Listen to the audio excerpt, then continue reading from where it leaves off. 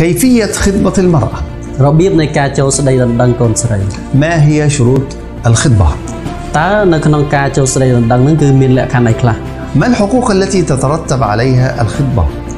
ក្រោយពេលដែលយើងអឺរៀអឺចូលស្ដីដណ្ដឹងហើយតើយើងមានលក្ខខណ្ឌអីខ្លះហើយនឹងមានសិទ្ធិអីខ្លះ ماذا يترتب على إنهاء الخطبة តើអ្វីដែលជាលទ្ធផលនៃការបដិច្ចអឺគូដណ្ដឹងនឹងគ្នា هل يجوز أن أخطب امرأة خطبها أحد آخر តើគេអនុញ្ញាតឲ្យយើងអឺទៅស្ដីដណ្ដឹងស្ត្រីម្នាក់ដែលគាត់មានគូដណ្ដឹងហើយដែរឬទេ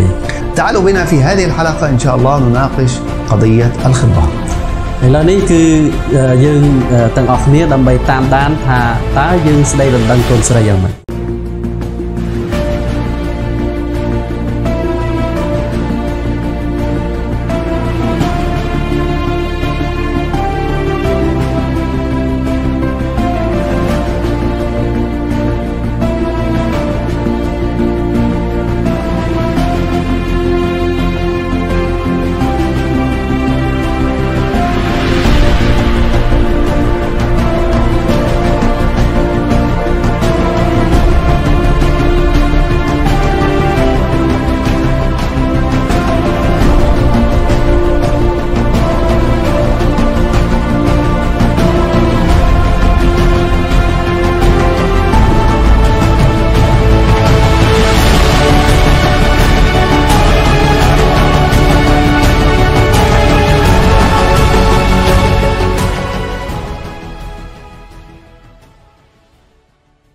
بسم الله الرحمن الرحيم أهلا بكم في حلقة جديدة من فتيدرة សូមស្វាគមន៍ទៅដល់បងប្អូនជាថ្មីដងទៀតនៅក្នុងកម្មវិធីវិថីតារា حديثنا اليوم إن شاء الله للأهل والشباب والفتيات عن موضوع الخطبة អឺប្រធានបទយើងថ្ងៃនេះគឺសម្រាប់ទាំងគ្រួសារហើយនិងយុវជនដែលយើងនិយាយទាក់ទងនឹងការស្ដីដណ្ដឹង الخطبة هي عبارة عن وعد بالزواج អឺការស្ដីដណ្ដឹងមានន័យថាគឺជាកិច្ចសន្យាមួយដែលយើងសន្យាថានឹងរៀបអាពាហ៍ពិពាហ៍នឹងគ្នា ويأتي الوعد بالزواج بمعرفة ولي الأمر ហើយការដែលយើងសន្យានឹងរៀបអាពាហ៍ពិពាហ៍នឹងគ្នាគឺត្រូវអឺខាងអាណាព្យាបាលហ្នឹងអឺគាត់ដឹងអំពីរឿងនេះផងដែរ فإذا وعد الشاب الفتاة بالزواج بدون معرفة الأهل فهذه ليست خطبة បើសិនជាយុវជនម្នាក់គាត់បានសន្យាជាមួយនឹងអឺកូនស្រីម្នាក់ថាខ្ញុំនឹងរៀបការជាមួយអ្នកហើយអាណាព្យាបាលរបស់គាត់អត់ដឹងមានន័យថានេះគឺមិនមែនជាការស្ដីដណ្ដឹងនោះទេ وتبدأ مرحلة الزواج بمرحلة الخطبة وهي معرفة الزوجين لبعضهما البعض والتعرف على أخلاق بعضهما البعض ដំណាក់កាលនៃការរៀបអាពាហ៍ពិពាហ៍ដំបូងមានន័យថាការចូលស្ដីដណ្ដឹងដែលភាគីកូនកំឡោះហើយនិងកូនក្រមុំគាត់អឺ សិក្សាស្វែងយល់ពីអត្តចរិតអេរិយាបថហើយនិងអឺចំណង់ចំណូលចិត្តរវាងកូនប្រុសហើយនិងកូនស្រី وكذلك التقارب بين الأهلين ហើយគ្រួសារទាំងពីរគឺចាប់ផ្ដើមមានទំនាក់ទំនងស្និទ្ធស្នាលជាមួយគ្នា آه، الأمر الثاني في موضوع الخطبة أن أتأكد قبل الخطبة أن هذه المرأة لم يخطبها أحد មុននឹងយើងចូលស្ដីដណ្ដឹងអឺកូនក្រមុំនរណាម្នាក់គឺយើងត្រូវប្រកាសចិត្តហើយនៅបញ្ជាក់ឲ្យបានច្បាស់ថា កូនក្រមុំហ្នឹងគឺគាត់មិនទាន់មានគូដណ្ដឹងនោះទេ لأن النبي صلى الله عليه وسلم وصانا لا يحل لأحدنا أن يخطب على خطبة أخيه ដោយសាររ៉ាស៊ូលឡោះសល្លឡោះសាឡាមគាត់បានផ្ដាំផ្ញើយើងទាំងអស់គ្នាគឺមិនត្រូវចូលស្ដីដណ្ដឹងកូនក្រមុំណាដែលគាត់មានគូដណ្ដឹងរួចទៅហើយ فمهما كنت تحب هذه المرأة وعلمت أن أحد تقدم للزواج لها لا يجوز لك أن تتقدم لخطبتها បើសិនជាទោះជាអ្នកស្រឡាញ់ កូនក្រមុំនោះឬក៏កូនស្រីនោះយ៉ាងណាក៏ដោយហើយយើងដឹងថាគាត់មានគូដណ្ដឹងរួចទៅហើយគឺនៅក្នុងច្បាប់អ៊ីស្លាមមិនអនុញ្ញាតឲ្យយើងទៅចូលស្ដីដណ្ដឹងអឺពីលើគូដណ្ដឹងរបស់គាត់នោះទេ فلا بد عليك أن تنتظر إذا أكملوا الزواج فأنت تبارك لهم وإن لم يكملوا الزواج في هذه الحالة يجوز أن تتقدم لخطبتها យើងត្រូវតែរងចាំបើសិនជាគូស្រករហ្នឹងគឺគាត់បានរៀបការជាមួយគ្នាបានជោគជ័យអញ្ចឹងយើងមានតែជូនពរគាត់ តែបើសិនជាគាត់មិនបានជោគជ័យទេគាត់លុបចោលនៅការអ่าស្ដីដណ្ដឹងហ្នឹងគឺមានន័យថានៅពេលនោះយើងអាចស្ដីដណ្ដឹងបាន ماذا يترتب على مرحلة الخطبة؟ តើនៅក្នុងអឺដំណាក់កាលដែលយើងខ្លាយជាគូដណ្ដឹងនឹងគ្នាហ្នឹងតើមានអឺដូចថាគេអនុញ្ញាតឲ្យយើងធ្វើអីខ្លះ في مرحلة الخطبة يتم الاتفاق بين أسرتي الزوجين នៅក្នុងដំណាក់កាលខ្លាយជាគូដណ្ដឹងមានន័យថាគ្រួសារទាំងពីរគឺបានទទួលស្គាល់ហើយអ អឺ បានយល់ព្រមថាពីរនាក់ហ្នឹងនឹងក្លាយទៅជាប្តីប្រពន្ធ يتم الاتفاق على المهر على كيفية حفل الزواج على متى يكون حفل الزواج على بعض الهدايا أو بعض الأشياء الأخرى បានអាចគ្នាគ្នាទៀតថាតើបណ្ណាការដែលយើងត្រូវជូនខាងអឺកូនស្រីនឹងប្រមាណហើយនឹងចំណាយលុយដើម្បីរៀបពិធីអាពាហ៍ពិពាហ៍នឹងអស់ប្រមាណហើយនឹងថ្ងៃខែដែលយើងត្រូវរៀបអាពាហ៍ពិពាហ៍នឹងនៅពេលណា وهذه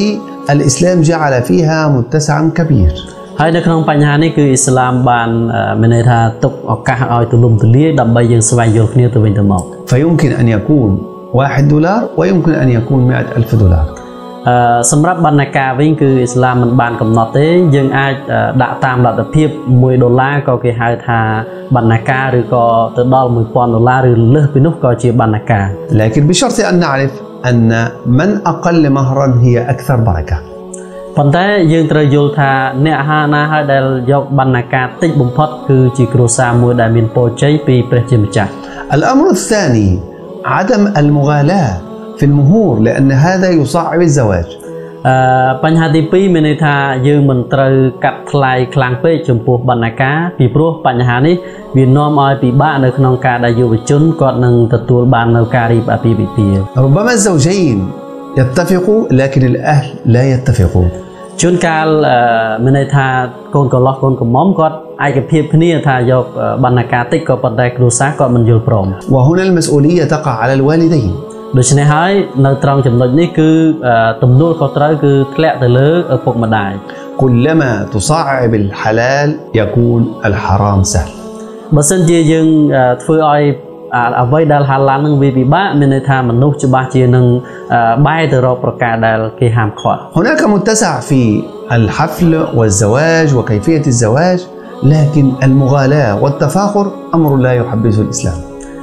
ការដែលអ៊ីស្លាមបើកលាយនៅក្នុងការដែលយើងរៀបពិធីអាពាហ៍ពិពាហ៍តាមលទ្ធភាពរបស់យើងក៏ប៉ុន្តែអ៊ីស្លាមគឺមិនអនុញ្ញាតឲ្យយើងអឺកាត់ថ្លៃខ្ពស់ពេកអឺចំពោះបណ្ណាការ في حالة الاتفاق بين الزوجين لابد التيسير في هذا الأمر បើសិនជាយើងមានការឯកភាពគ្នាអាចថាអឺធ្វើដន្លងនឹងគ្នាហើយមានន័យថាយើងមិនត្រូវរឹតបន្តឹងនៅក្នុងការដាក់បណ្ណាការនោះទេ ولذلك يمكن أن تكون الخطبة عبارة عن خاتم ويمكن أن تكون عبارة عن قدر من الذهب كبير អឺចំពោះដែលយើងចូលស្ដីដណ្ដឹងហ្នឹងគឺមានន័យថាយើងត្រូវមានចំណងអាចជាអឺចិញ្ចៀនក៏បានឬក៏យើងអាចទិញមាសជាតំណាងសម្រាប់បង្ហាញពីចំណងនៃអឺការចូលស្ដីដណ្ដឹង ولذلك أنصح كثير من الآباء أن يتساهلوا في قضية الزواج وأن يتساهلوا في قضية المهور ويتساهلوا في قضية حفلات الزواج ដូច្នេះហើយអឺសំណុំពរទៅដល់អាណាព្យាបាលទាំងអស់ដែលគាត់នឹងមានកូនរៀបអាពាហ៍ពិពាហ៍ហ្នឹងមានន័យថាយើងត្រូវសម្រួលឲ្យវាងាយស្រួលឲ្យវាសាមញ្ញអឺសម្រាប់បណ្ណាការសម្រាប់ចំណាយអឺពិធីអាពាហ៍ពិពាហ៍ ហើយនឹងចំណាយផ្សេងៗទៀតមានន័យថាយើងមិនត្រូវអឺចំណាយខ្ពស់ពេកទេពីព្រោះការធ្វើដូច្នេះគឺពិបាកទៅដល់កូនកំលោះហើយនិងកូនក្រមុំ لا يترتب على الخطبة أن يخلو الرجل بالمرأة នៅពេលដែលអឺយើងខ្លាចជាគូដណ្ដឹងនឹងគ្នាមានន័យថាគេមិនអនុញ្ញាតឲ្យយើងនៅអឺតែគ្នាពីរនាក់ឬក៏យើងដាក់គ្នាដល់លេងតែពីរនាក់នោះទេ في هذه المرحلة لا يترتب عليه شيء كالزواج وحقوق الزوجة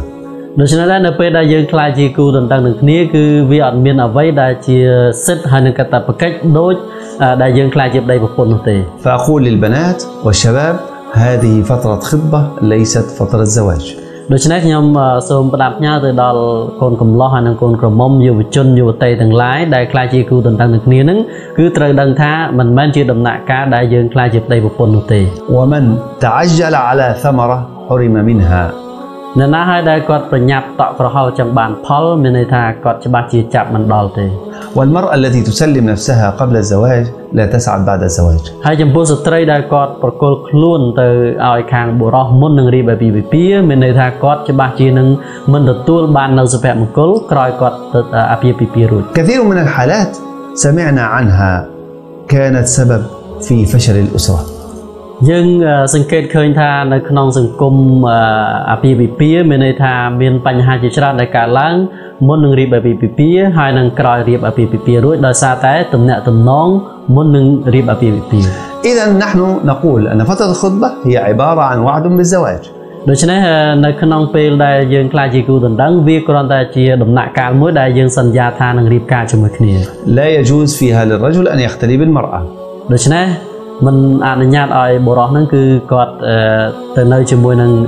ខាងខាងកូនក្រមុំ أيضا لا يجوز في هذه المرحلة أن يخطب الرجل على خطبة أخيه.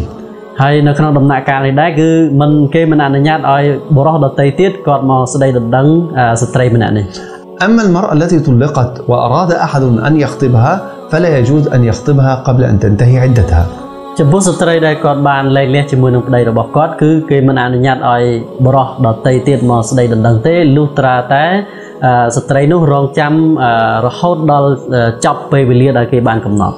فإذا كانت المرأة المطلقة حامل فعدتها حتى تضع حملها បើសិនជាស្ត្រីដែលគាត់លែងលះនោះជាស្ត្រីដែលមានផ្ទៃពោះអញ្ចឹងពេលដែលរងចាំដែលគេកំណត់ហ្នឹងគឺរហូតដល់គាត់អឺកើតកូន وعدة المرأة المطلقة الغير حامل ثلاثة قروء ហើយចំពោះស្ត្រីដែលគាត់លែងលះហើយហើយគាត់អត់មានផ្ទៃពោះទេមានន័យថារយៈពេលនៃការរងចាំហ្នឹងគឺគេកំណត់រយៈពេល3ដងស្អាតនៃអឺការមានរដូវ أما المرأة التي متوفى عنها زوجها إذا أراد أحد أن يخطبها فلا بد بعد انتهاء عدتها أربعة أشهر وعشرة أيام អញ្ចឹងចំពោះស្ត្រីដែលគាត់អឺត្រូវប្តីស្លាប់ចោលអញ្ចឹងរយៈពេលនៃការរងចាំគឺរយៈពេល4ខែ10ថ្ងៃ បន្ទាប់ពីនោះទើបអាចបរោះដតីគាត់អាចចូលស្ដីដណ្ដឹងបាន انتظرونا إن شاء الله في الحلقة القادمة نبدأ في حقوق وواجبات الزوج والزوجة អឺសូមបងប្អូនមេត្តារងចាំទាំងអស់គ្នាវគ្គក្រោយគឺយើងនឹងនិយាយទាក់ទងនឹងប្រធានបទអឺសិទ្ធិហើយនឹងកាតព្វកិច្ចប្តីហើយនឹងប្រពន្ធ